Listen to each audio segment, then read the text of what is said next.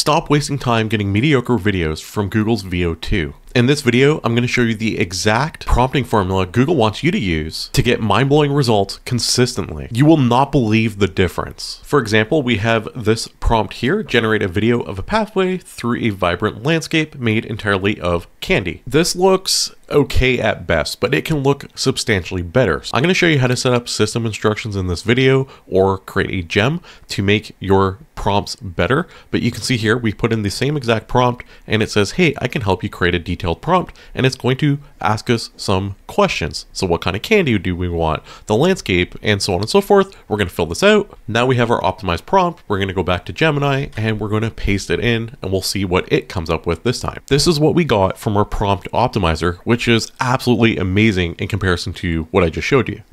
Let's do one more example, generate a video of a dense, overgrown jungle covering the top of a modern skyscraper.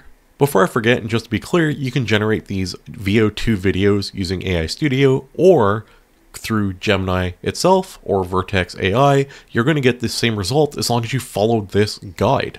And the guide is completely free, as is subscribing to this channel. So I cover the latest and greatest AI content on a daily basis, so you can stay up to date by just clicking subscribe. So just go do it right now. Let's continue. This is our video of a jungle covering a skyscraper. We're going to throw it back into the prompt optimizer.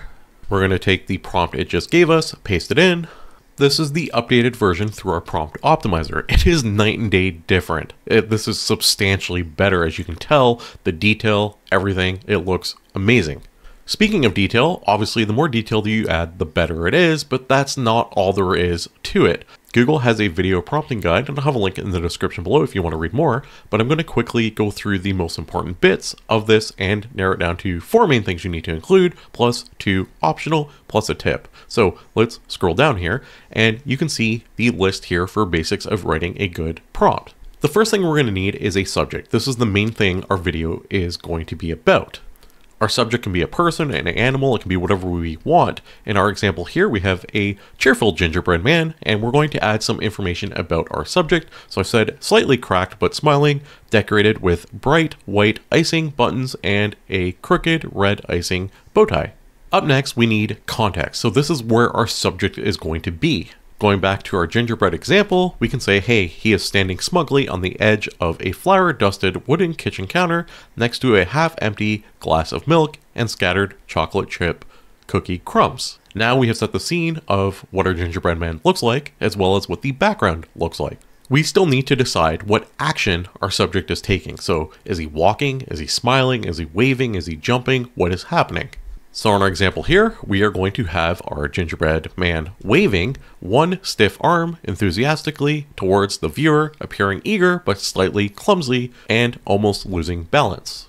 The fourth and final thing that you must include is a style. So you can include keywords or just different words that describe styles that you want to include in your video.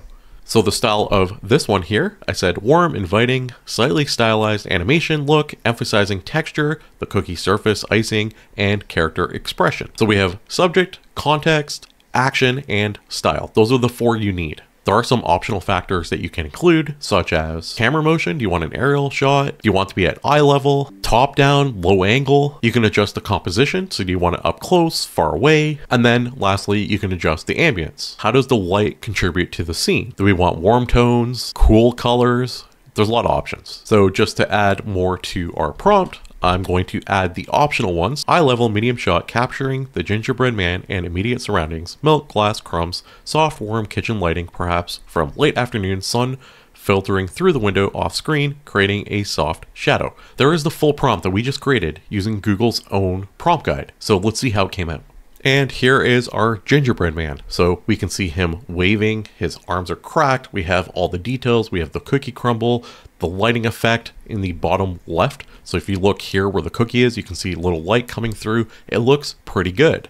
Now, let's be honest, creating a prompt like that is a lot of work, too much work, I am a lazy person, there is a faster way. Once again, I'll have a link in the description below for you, but you can see here we have the expert Veo 2 video prompt engineer. So I have my website, franklineh.com. You can go there, you can get access to tools, news, videos, prompts, and there is, if you scroll all the way down, there's a little newsletter you can join. I send one email per week getting you up to date with the latest and greatest AI content. No spam, I promise you. So, with all the self promotion out of the way, there is this copy button here, and we can copy it. Now we have two options. So we can go to the gem manager and we can hit new gem. In my case, I already have one set up, so I can just hit edit and you can just literally just paste this in. You can start talking to your gem and start creating better prompts. The other way, and if you want to do it for free, you can come to AI Studio, you can click this for system instructions, you can paste this in, you can click off and you can just start typing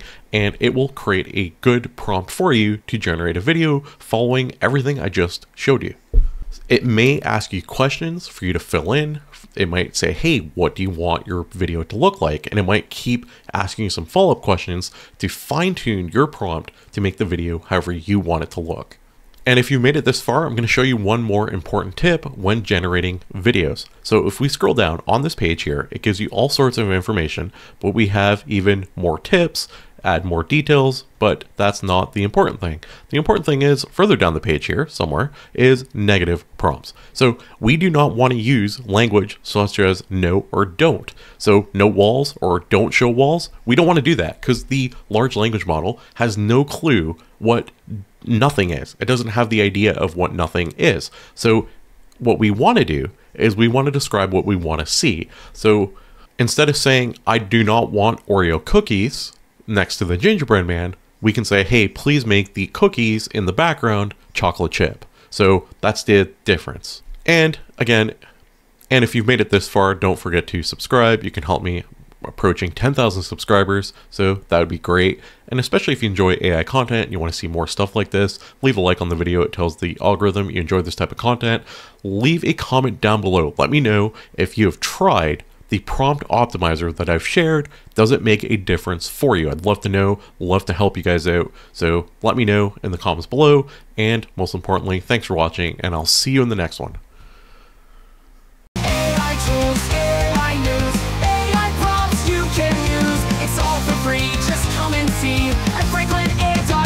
you're meant to be.